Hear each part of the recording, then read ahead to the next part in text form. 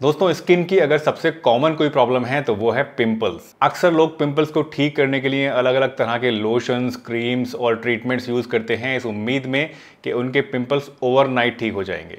But and में ऐसे लोगों को सिर्फ़ और सिर्फ़ निराशा ही हासिल लगती है, क्योंकि इससे कुछ भी फ़ायदा उनको नहीं होता है. एक्चुअली दोस्तों, ज़्यादातर लोग ये जानते ही नहीं हैं कि पिंपल्स सिर्फ़ एक एक्सटर्नल प्रॉब्लम नहीं है. पिंपल्स एक ऐसी चीज़ है, एक ऐसी बीमारी है, जिसका आपके इंटरनल सिस्टम से भी बहुत ज़्यादा रिलेशन होता है.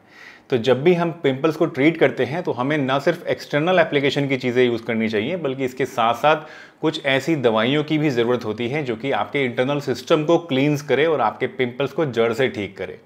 तो आज की इस वीडियो में मैं इसी पर बात करने वाला हूँ, जहाँ मैं आपको बताऊँगा कुछ बहुत ही इफ़ेक्टिव नेचुरल होम रेमेडीज़ के बारे में, जो कि आप इस्तेमाल कर सकते हैं, न सिर्फ़ अपने पिंपल्स को ठीक करने के लिए, बल्कि पिंपल्स के रिकरेंस को दूर करने के लिए। क्योंकि पिंपल्स एक बार जब हो जाते हैं तो उनका रिकरेंस के चांसेस जो हैं, वो बहुत ज़्यादा हो जाते हैं। अगर आपको भी कभी पिंपल्स हुए हैं तो आपको पता होगा कि बार बार बार बार ये प्रॉब्लम आपके अंदर आती रहती है। तो आज की इस वीडियो में बताई जाने वाली जितनी भी रेमेडीज़ और ट्रीटमेंट्स मैं आपको बताने वाला हूँ दोस्तों, ये आपको इन दोनों ही चीज़ों से छुटकारा दिलाने में काफ़ी ज़्यादा मदद करेंगी। तो चलिए, बिना किसी देरी के इस वीडियो को शुरू करते हैं दोस्तों। मेरा नाम है डॉक्टर सलीम और आप देख रहे हैं आपका अपना यूट्यूब चैनल हेल्दी हमेशा।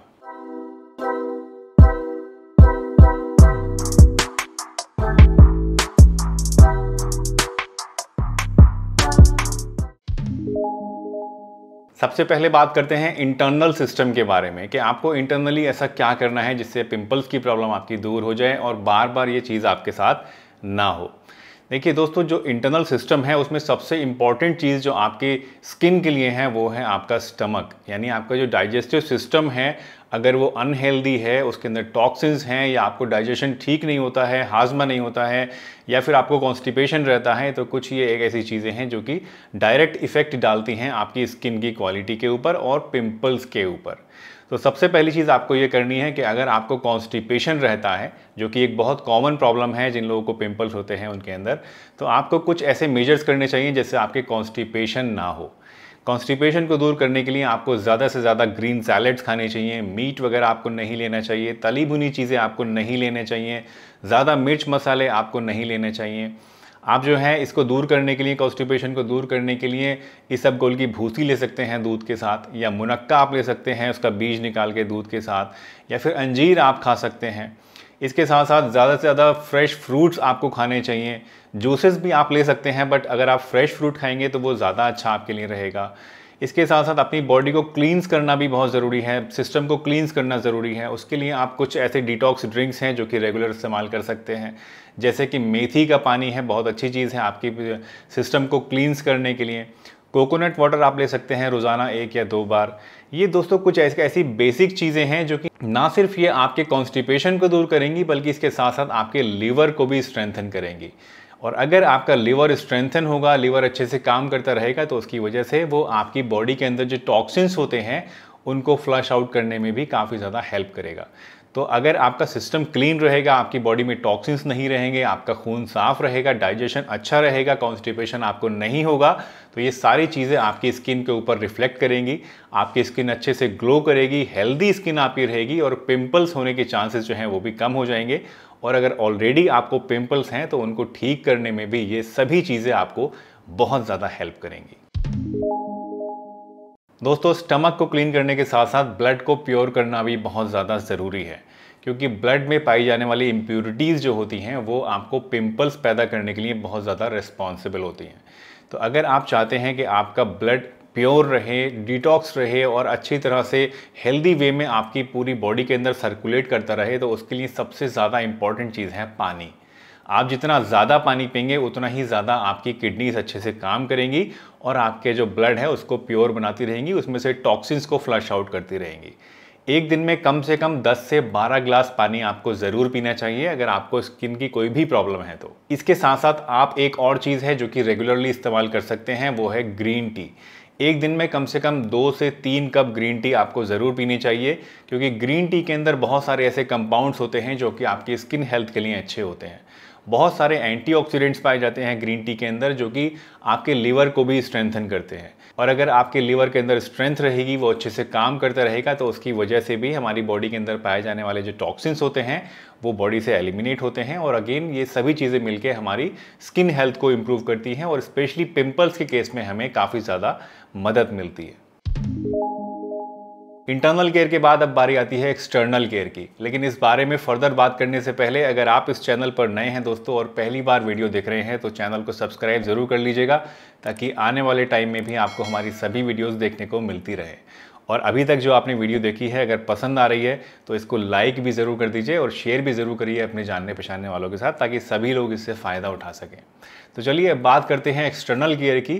तो एक्सटर्नल केयर की जब बात आती है तो सबसे पहली और सबसे इंपॉर्टेंट चीज़ जो आपको करनी होती है, वो है क्लीनिंग जितना ज़्यादा क्लीन आप अपनी स्किन को रखेंगे, उतना ही ज़्यादा आपके लिए अच्छा होगा और उतने ही ज़्यादा पिंपल्स होने के चांसेस जो हैं आपके अंदर वो कम हो जाएँगे।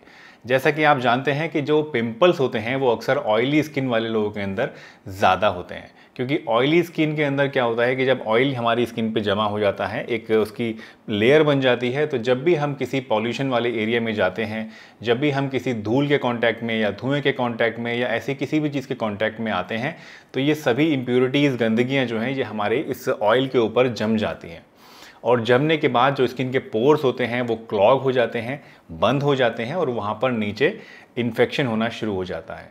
स्टार्टिंग में ये जो इन्फेक्शन है, ये हमें नज़र आता है वाइट हेड्स की शक्ल में या ब्लैक हेड्स की शक्ल में और धीरे धीरे बढ़ते बढ़ते ये इन्फेक्शन अगर ठीक नहीं होता है तो एक पिंपल की शक्ल ले लेता है।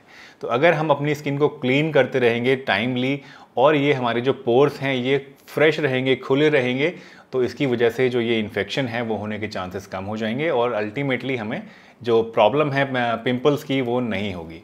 तो इसे क्लीन करने के लिए आपको क्या करना है? क्लीन करने के लिए आज मैं आपको बताने वाला हूँ एक बहुत ही बढ़िया होम रेमेडी एक ऐसा फॉर्मूला जो कि आप अपने घर पे ही बना सकते हैं और एक बहुत इफ़ेक्टिव चीज़ है ये आपके क्लीनिंग के लिए।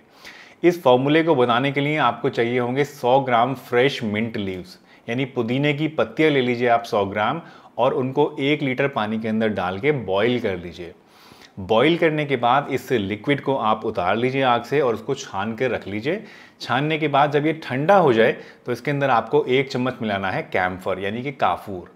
एक चम्मच काफूर डाल के इसको आप अच्छे से घोल लीजिए और एक जार के अंदर स्टोर करके अपने फ्रिज में रख दीजिए। इस लिक्विड से आपको रोज़ाना अपनी स्किन की क्लीनिंग करनी है। एक कॉटन का स्वैब लीजिए और उसको इस लिक्विड के अंदर डिबोइए और अच्छे से अपनी पूरी स्किन की सफ़ाई कर लीजिए।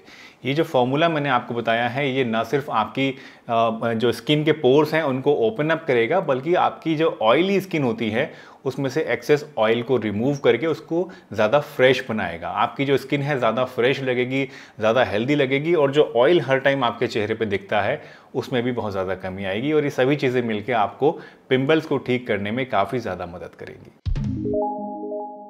एक्सटर्नल केयर के लिए तीसरी चीज़ जो आपको करनी है, वो है एक फेस पैक की शक्ल में। इस फेस पैक को बनाने के लिए आपको चाहिए चंदन का पाउडर दूसरी चीज़ जो आपको चाहिए वो है कैम्फर तीसरी चीज़ है मुल्तानी मिट्टी और चौथी चीज़ है रोज़ वाटर यानी कि गुलाब जल। आप क्या करेंगे, एक टेबल स्पून चंदन का पाउडर ले लेंगे एक कटोरी के अंदर। उसके अंदर आप मिलाएँगे एक टेबल स्पून मुल्तानी मिट्टी और एक चौथाई चम्मच कैम्फर इन तीनों चीज़ों को अच्छे से मिला लीजिए और उसके बाद इन तीनों चीज़ों का एक पेस्ट बना लीजिए with the help of rose water यानी रोज़ वाटर मिला के उसका एक पेस्ट बना के रख लीजिए अपने फ्रिज के अंदर। जब ये पेस्ट आपका ठंडा हो जाए तो उसको अपने फेस के ऊपर लगा लीजिए पूरे और लगाने के बाद छोड़ दीजिए इतनी देर तक के लिए जब तक कि ये सूख ना जाए। जब ये फेस पैक आपका सूख जाए और आपकी स्किन जो है वो थोड़ी आपको लगे कि स्ट्रेच हो रही है, थोड़ा खिंचाव हो रहा है स्किन में तो फिर इस फेस पैक को आप वॉश कर लीजिए ठंडे पानी की मदद से। गर्म पानी से वॉश नहीं करना है, ठंडे पानी से वॉश करना है। ये फेस पैक आपको रोज़ाना कम से कम एक टाइम या ज़्यादा से ज़्यादा दो टाइम इस्तेमाल करना है। शायद दो टाइम मुश्किल हो तो एक टाइम भी करेंगे तो चलेगा।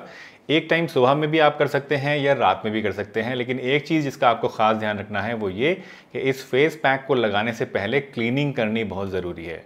यानी जो फार्मूला मैंने इससे पहले वाले पॉइंट में आपको बताया था, उस फार्मूले से पहले क्लीनिंग करिए अपनी स्किन की और उसके बाद इस फेस पैक को लगाइए। ये तीनों चीज़ें जो आज मैंने आपको बताई हैं दोस्तों, पहली चीज़ कि अपने स्टमक को क्लींस करना है, दूसरी चीज़ के पानी ज़्यादा पीना है जिससे आपका ब्लड जो है वो प्योर हो, तीसरी चीज़ कि ये जो आपको एक्सटर्नली क्लीनिंग करनी है, और चौथी चीज़ ये फेस पैक ये चारों चीज़ें जो हैं दोस्तों, ये मिलके आपको बहुत ही ज़्यादा अच्छे इफेक्ट्स देंगी in terms of cleaning in terms of curing your pimples और ना सिर्फ़ क्योरिंग बल्कि इसके साथ साथ जो रिकरेंस हैं, वो भी आपका इसकी वजह से कम हो जाएगा और बार बार पिंपल्स होने की जो शिकायत आपकी है, वो काफ़ी हद तक दूर हो जाएगी। इसके साथ साथ दोस्तों, एक चीज़ और जिसका आपको ख्याल ध्यान रखना है, वो ये कि कभी भी जब आपको पिंपल्स होते हैं तो आपको अपने पिंपल्स को टच नहीं करना चाहिए। अक्सर लोग ये गलती करते हैं कि बार बार टच पता नहीं क्यों करते रहते हैं अपने पिंपल्स को, या फिर कई बार हम लोग प्रिक भी कर देते हैं या दबा देते हैं स्क्वीज़ कर देते हैं, इस उम्मीद में कि शायद ये ठीक हो जाएँगे। लेकिन ये बहुत ही गलत चीज़ है, इसकी वजह से आपकी पिंपल्स के अंदर इन्फेक्शन बढ़ सकता है पस पड़ सकता है और सबसे इंपॉर्टेंट चीज़ जो है वो ये कि आपकी स्किन के ऊपर दाग हो सकते हैं। ब्लैक ब्लैक निशान हो सकते हैं स्कार बन सकता है, जो कि एक बहुत बुरी चीज़ होगी और आपका स्किन जो है, अगर पिंपल ठीक भी हो जाते हैं तो बहुत ज़्यादा बुरी लगेगी। तो इसलिए अगर आपको पिंपल्स हैं तो उनको टच करने से बचिए, उनको प्रिक करने से बचिए और उनको दबाने से बचिए। और ये चीज़ें इस्तेमाल कीजिए जो आज मैंने आपको बताई हैं and I am sure with in a few weeks only आपको अपने पिंपल्स के अंदर बहुत ज़्यादा इंप्रूवमेंट देखने को मिलेगा और आपकी स्किन बहुत ज़्यादा हेल्दी क्लीन और ब्यूटीफुल दिखनी शुरू हो जाएगी। तो दोस्तों, मुझे उम्मीद है आज की ये वीडियो आपको ज़रूर पसंद आई होगी और इसमें बताए गए जो टिप्स हैं और जो फॉर्मूलाज हैं, वो आप ज़रूर ट्राई करेंगे। इन फार्मूलाज़ को ट्राई करने के बाद जो भी आपके एक्सपीरियंसेस हों, वो हमारे साथ ज़रूर शेयर करिएगा। आप अपने एक्सपीरियंसेस मेरे साथ इंस्टाग्राम पे भी शेयर कर सकते हैं या फिर कमेंट सेक्शन में भी शेयर कर सकते हैं। अगर आपके कुछ थॉट्स हैं या आप कुछ और जानना चाहते हैं या आपके पास कुछ ऐसी ट्रिक्स एंड ट्रिप्स हैं जिसकी मदद से आपने अपने पिंपल्स को ठीक किया है तो वो भी अपने फैलो व्यूवर्स के साथ ज़रूर शेयर करिए। हमें भी बहुत अच्छा लगेगा अगर आप अपने टिप्स एंड ट्रिक्स हमारे साथ शेयर करेंगे और बाकी जो व्यूवर्स हैं, उनको भी बहुत ज़्यादा फ़ायदा उससे मिल सकता है। तो चलिए इसी के साथ इस वीडियो को यहीं पर एंड करता हूँ। इस उम्मीद के साथ कि आप हमारे साथ इस सफ़र में इसी तरह बने रहेंगे और आने वाले समय में भी हमारी वीडियोज़ को देखते रहेंगे। अगर अभी तक चैनल को सब्सक्राइब नहीं किया है तो सब्सक्राइब ज़रूर कर लीजिए।